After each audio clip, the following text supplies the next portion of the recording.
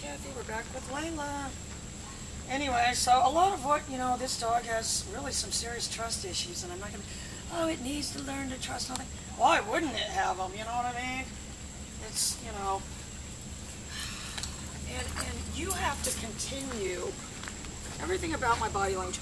Part of what you have to think of, again, if you went to a foreign country where you didn't speak the language and they seem to be coming at you, putting things on your neck, I'll tell you, they do that. There's countries in the world, I tell Summer these horror stories of things I've seen on the national news. She's horrified. But you know, right now, again, the dog is sitting on my foot. Um, you know, but what, what, what I'm saying to myself, my, my job is to, well, what I'm saying to myself is my job is to be able to be in the presence of this animal, to have this animal have enough confidence in me, it can just lean on me like that and know that I'm not going to start poking and prodding and thumping and doing weird things. You know, what I want to say to people this is what we need to do. This needs to be our episode somewhere. Uh, someone's like, uh oh, she's off on a tangent. You know, mm-hmm. but we could go out in public and then, you know, when the people, you know, get like the friendliest one we have, like Duncan or something that, you know, likes getting petted, and then and then let people pet him and then say, what what is it your, what message are you sending with your if every every physical shit. touch means something to a dog, right? What, what are you trying to say? Just to get various answers. Yeah. Well, then write it all down and make a full length book, the length of War and Peace out of it. All right, War and Peace is this book. Not that I've ever read the book, but people reference it in, in, in the fact, in fact, James Patterson even referenced it.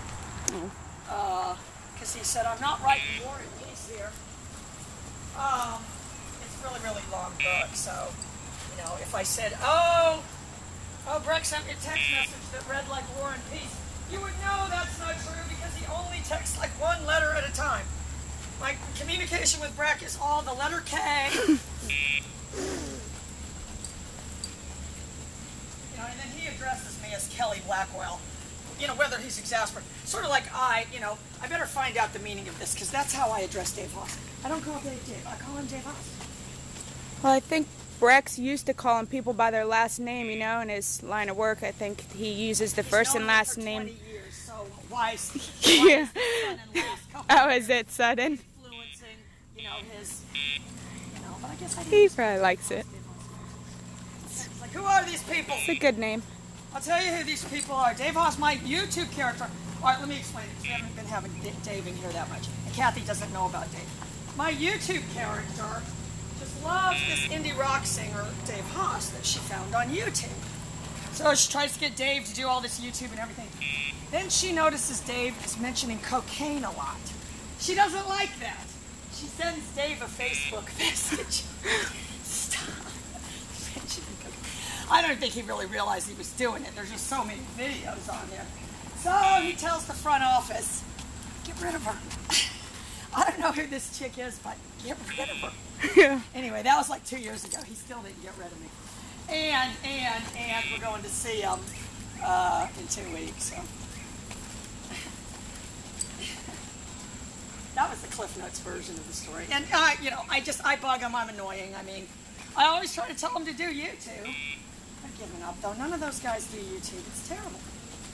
None of that whole genre of music. Oh, oh, and when Summer came in from slaving away yesterday. I had some very exciting news. Max is playing at the social. I, I bet this will be the one and only time Max will ever play at the social. Yeah, yeah that's going to be cool. Max is only 23. He's never been on solo tour before, but eh, you're going to cut your teeth in the music industry. You better go on tour. From what I can gather, I know nothing of the music industry, but from what I can gather, from the way these people operate, mine tells me. Saw this old poster. Oh my God! Ah! I'll tell Summer that in the next episode. All right, you guys. So anyway, down. Yay! And I want to be able to say to myself, what am I saying right there to the dog? My hand didn't move.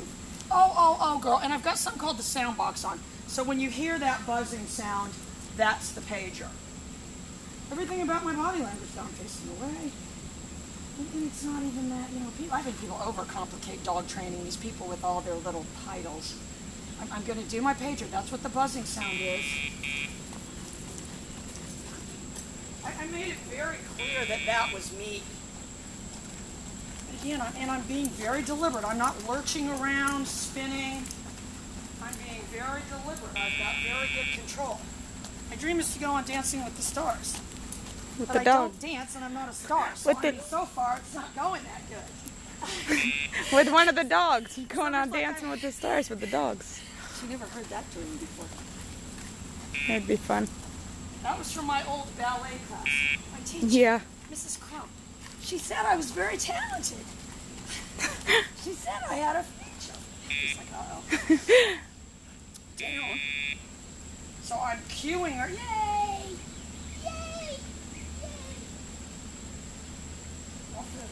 Okay, we're gonna do a quick recall video. We'll be right back.